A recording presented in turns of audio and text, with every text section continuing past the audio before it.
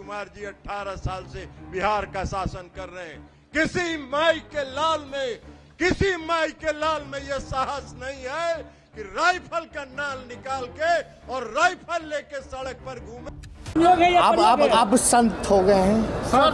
हमारे हमारे साथ थे तो अपराध भागलपुर के विधायक गोपाल मंडल जो अपने बयानों के ज़रिए जेडीयू पार्टी के खिलाफ नज़र आते हैं। वो क्या अब समर्थन नीलम देवी को देते हुए नज़र आएँगे?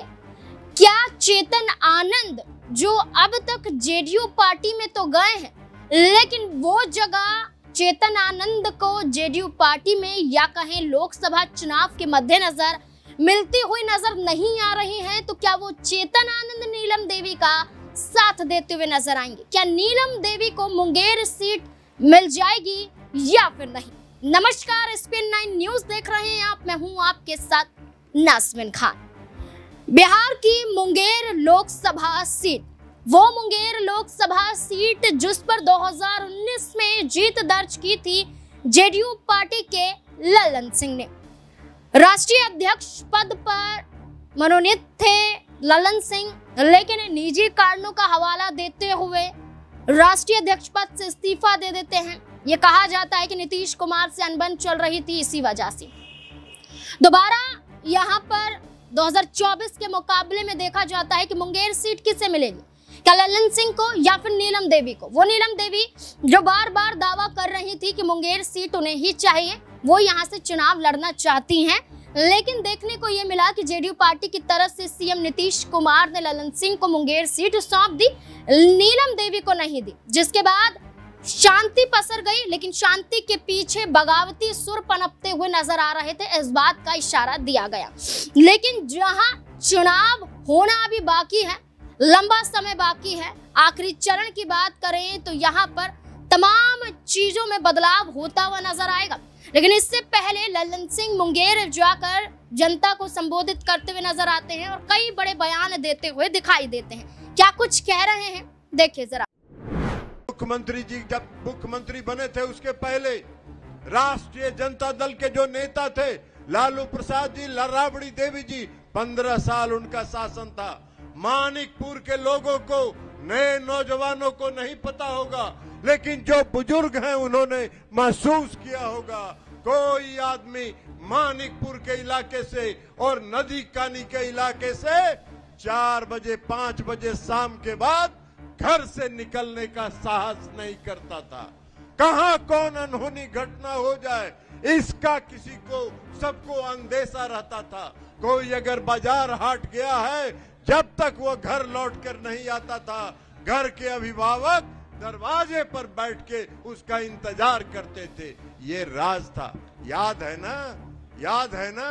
लालू जी और राबड़ी जी के राज में जो रंगदार लोग थे, राष्ट्रीय जनता दल के स्कॉर्पियो का पिछला दोनों शीशा उतार के दो राइफल इधर और दो राइफल इधर का नाल बाहर निकाल के और आगे बैठा हुआ व्यक्ति डंडा भांजते हुए चलता था, लोगों को आतंकित करने का काम करता था, लोगों को डराने का काम करता था। नीतीश कुमार जी 18 साल से बिहार का शासन कर रहे हैं। किसी माई के लाल में किसी माई के लाल में यह साहस नहीं है कि राइफल का नाल निकाल के और राइफल लेके सड़क पर घूमे। यह नीतीश कुमार जी का सुशासन है, यह नीतीश कुमार जी का काम है। तो इसलिए आज आज फिर चुनाव है और उस चुनाव में कुछ लोग लेके घूम रहे हैं। बिजली जल रही है, चकाचक बिजली जल रही है। और आज कुछ लोग फिर से लालटेन राज में बिहार को वापस लाना चाहते हैं। 18 साल पहले ले जाना चाहते हैं। आपको सतर्क रहने की ज़रूरत है। आपको सचेत रहने की ज़रूरत है। मैं आपका सांसद हूँ। मुझको फिर से नीतीश कुमार जी ने यहाँ से चुनाव लड़ने के लिए प्राधिकृत किया है। मैं आपको ये भरोसा और विश्वास दिलाता हूँ कि जैसे पाँच साल पहले मैंने जो काम किया है, आगे भी पाँच साल पूरे निष्ठा और और विश्वास के साथ आपके क्षेत्र के विकास में गति देने का काम करूँगा। एक आदमी बोल रहे थे, नदी कानी में नदी कानी में कुछ गड़बड़ी हुआ है, उसकी भी जाँच होगी, आप चिंता मत करिए। और गड़बड़ी करने वाले लोग का सही जगह पहुँचेंगे। नीतीश कुमार जी किसी को छोड़ते नहीं हैं। हाँ एक बात ज़रूर है। माननीय मुख्यमंत्री जी, हम आपसे आग्रह करेंगे।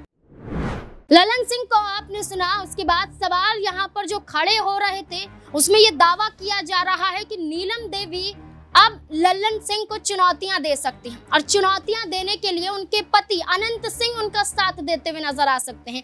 अनंत सिंह जिनको लेकर चर्चा थी कि क्या वो जेल से बाहर आ जाएँगे तो आखिरकार पैरोल पर जेल से बाहर आ भी जाते हैं।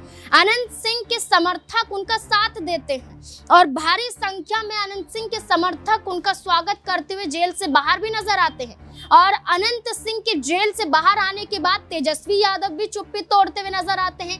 क्या कुछ तेजस्वी यादव कह रहे हैं? देखिए जरा। अब अब अब संत हो गए हैं। हमारे हमारे साथ थे तो अपराधी थे। अब जदयू में चले गए हैं इलेक्शन में जेल के बाहर आ गए तो संत हो गए। अब अब अब संत हो गए हैं। हमारे हमारे साथ थे तो अपराधी थे। अब जदयू में चले गए हैं इलेक्शन में जेल के बाहर आ गए। तेजस्वी यादव कहते हैं कि जब जेल गए थे तो एक गुंडे थे लेकिन बाहर आए तो वो यहाँ पर निर्दोष हो जाते हैं। यानी कि वो दावा किया जा रहा है कि यहाँ पर अनंत सिंह जो जो बाहर आए हैं, वो नीतीश कुमार की पार्टी की बदौलत आए हैं। लेकिन अगर नीतीश कुमार की पार्टी ही या नीतीश कुमार उनकी पत्नी को वो जगह नहीं दे पाती है तो क्या अनंत सिंह अपनी पत्नी को जगह दिलाने के लिए लालू प्रसाद यादव से मुलाकात कर सकते हैं? अशोक महतो की बात करें तो वो बड़ा कद मुंगेर सीट पर कायम करते हुए नज़र नहीं आ रहे हैं। और मुंगेर सीट पर जो जगह नहीं बना पा रहे, इसलिए सवाल उठ रहा है कि क्या बदलाव हो सकता है? क्या मुंगेर सीट पर बदलाव यहाँ पर आरजेडी की तरफ़ से होता हुआ नज़र आएगा? क्या अनंत सिंह जो अब तक दावा कर रहे हैं कि कोई भी मुकाबला नहीं है, क्या यह मुकाबला ललन सिंह नीलम देवी के बीच में वाकई हो सकता है या नहीं? क्या भागीदारी यहाँ पर जो आरजेडी से बगावत करके जेडीयू की तरफ़ विधायक बड़े थे, क्या वही विधायक और नीलम देवी के पति मिलकर क्या इस बगावत को नया रूप देते हुए नज़र आएँगे? क्या बगावत जेडीयू पार्टी से हो जाएगी? क्या नीलम देवी आरजेडी में चली जाएँगी और उनके पति भी यहाँ पर उनका साथ देंगे, क्योंकि मोकामा से आरजेडी के विधायक रह चुके हैं आनंद सिंह। और हाल ही की बात करें तो मोकामा से विधायिका है नीलम देवी, आरजेडी के टिकट से। तो ऐसे में 2025 का विधानसभा चुनाव भी नज़दीक है और सवाल उठ रहे हैं कि क्या वापसी होती हुई नज़र आएगी या फिर नहीं। इस मुद्दे को लेकर आपकी क्या राय है, कमेंट सेक्शन में ज़रूर बताएँ।